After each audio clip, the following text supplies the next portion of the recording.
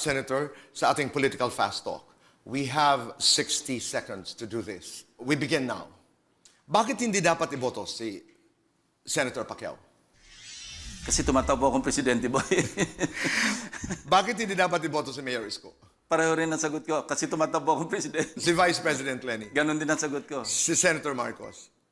Ganon din ang sagot ko. Kasi tumatakbo ako, ba't, ba't sila dapat iboto? Kung ako tatanungin mo. Bakit ikaw ang dapat iboto? Ako, ako I'll, be, I'll be a bit arrogant. Ano? I'm the most qualified. I'm the most competent. I'm the most Now experienced. it's time to do our political fast talk. Okay. We have 60 seconds to do this. Senator Bongbong, bakit hindi dapat iboto si VP Lenny Robredo? Are, are you going to ask me this of each of the presidential candidates?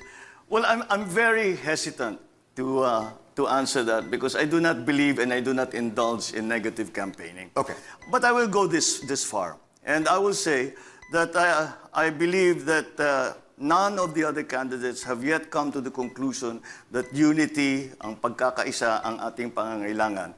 At doon magsisimula ang ating pagbalik na dito sa krisis ng pandemya. So that's your answer to is, uh, Mayor Isko, Senator to Lacson? all of them. I said them. because uh, they they they uh, the, uh, they ha- they And Senator Pacquiao. and they ha- the- because of their they have not uh, seen that unity is a critical part. Okay. Then they have not uh, been able to come up with a specific program, a detailed program for what we will do in the next years to recover from. Bakit pandemic. ikaw ang dapat iboto? Yeah, it's a converse of that because my message is about unity and Let's begin.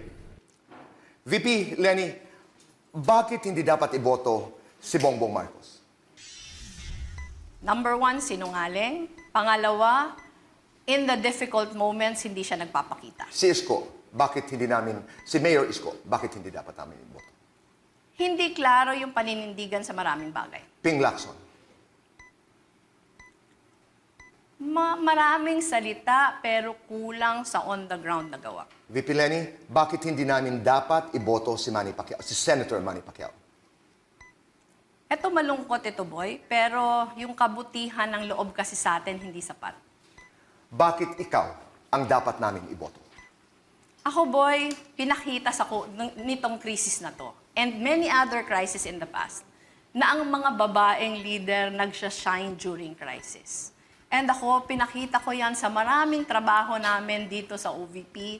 Ah, marami kaming mga krisis na nalagpasan with flying colors. Sabi ko nga, kung yung 2016 hanggang 2022,